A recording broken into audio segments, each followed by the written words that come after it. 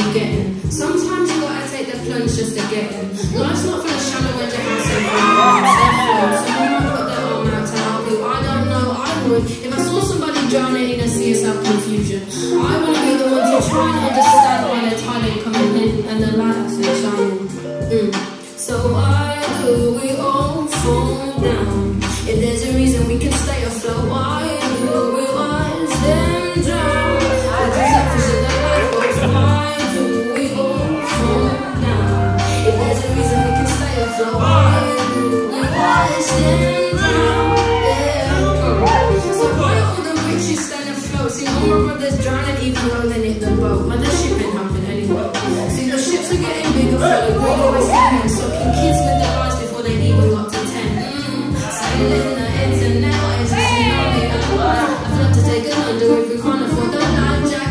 Majority don't even have the life jacket. Majority might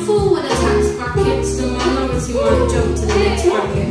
On the phone to sign up for a raft and a pay packet. With the same old unemployed age bracket. Even running six schools, some of these schools Nobody truly stays afloat.